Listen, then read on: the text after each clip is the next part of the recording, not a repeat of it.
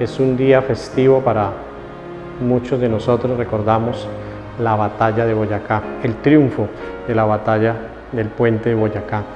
Eh, el Evangelio de hoy, en el Evangelio de Mateo, en el capítulo 15 nos encontramos con aquella mujer que tiene su hija enferma y que ve pasar a Jesús y que va tras él, va gritando, Jesús, hijo de David, Jesús, hijo de Dios, necesito que cure mi hija, necesito que sane mi hija. ¿Qué no hace una mujer? ¿Qué no hace una madre con su hijo enfermo?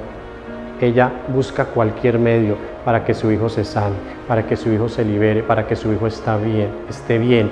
¿Qué no hace una mamá por nosotros? Una buena madre hace todo lo que esté a su alcance para que su hijo se sane, para que su hijo se cure, para que su hijo esté bien. Y por eso esta mujer que va atrás de Jesús gritando que la escuche, que la sane, va molestando a Jesús, lo toca, se para frente a él y le dice, Señor, quiero que sane a mi hija, quiero que sane a mi hija.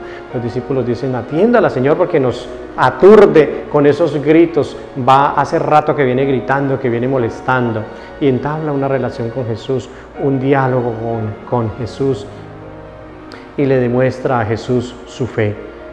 Y Jesús nos sana porque tenemos fe. ¿Cuántas madres les hace falta fe para que sus hijos se sanen, para que sus hijos cambien? para que sus hijos sean aquellos hijos que ustedes han deseado que sean.